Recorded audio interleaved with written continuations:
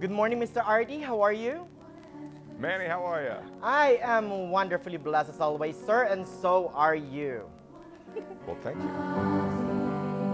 What attracted you to the social network? Uh, well, initially it was the people involved. It was the fact that David Fincher was directing this, and uh, I knew that I would make coffee if it meant I could be on a Fincher set. And then when I heard that Aaron Sorkin wrote it, and then when I actually got to read the script, I knew I had to be a part of it. Uh, I mean, it's, uh, it's, it's one of the best pieces of material I've ever read, and I think uh, Fincher was really able to bring it to life in an impressive way. You are very right about that. I mean, you know, I, in my review last week, I said that the social network is one of the contenders for best adapted screenplay by Aaron Sorkin. Yeah, I, I, I would agree completely. Right. Now, can you feel the buzz about the movie? Like all of a sudden, there's this big, Yeah. giant buzz about it.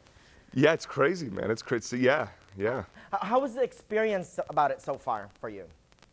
Uh, it was awesome. It wa- I mean, it's so far it's been great. I mean, in terms of the actual shooting of the movie, it was it was a blast. It was the best. We got to shoot in Boston, L.A., England. We got to travel all these different places with such a young cast who all just wanted to do the best they could in this movie, but then also just like have fun at the same time. So it, it was great shooting the movie, and then and you know since afterwards, it's been so well received. Even though my job was really essentially finished three or four months ago.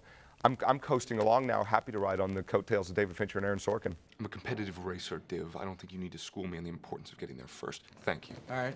Initially, I thought that you and Josh Pence, who played your twin, Mm-hmm. um, Tyler Winklevoss, in the film, are actually twins in real life. No, no, no, no, we are not twins in real life. we could be fraternal twins in real life.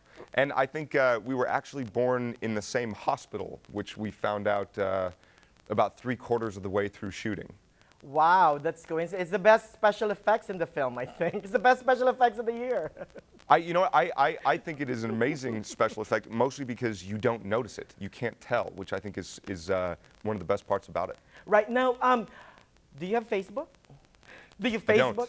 You don't? I don't. Why not? I don't.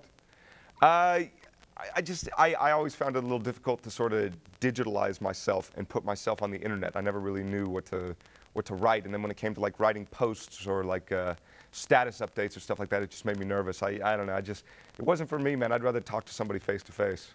This idea is potentially worth millions of dollars. Millions. You stole our website. They're saying we stole the Facebook. I did what it said. So did we?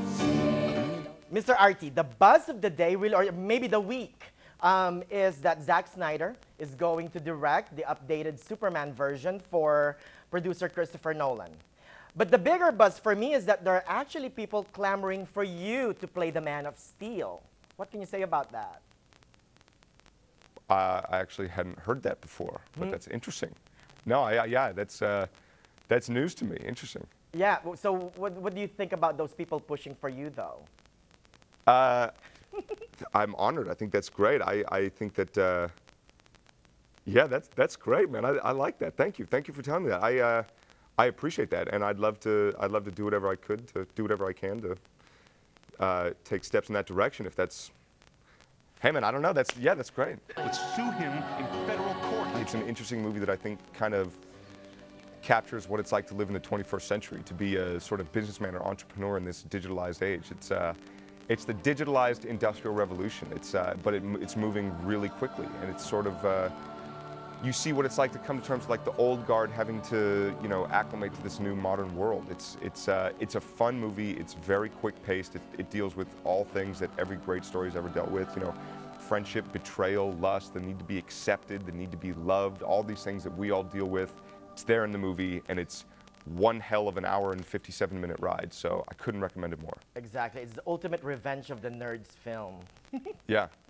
well, good luck, Mr. Thank Congratulations. you very again. much.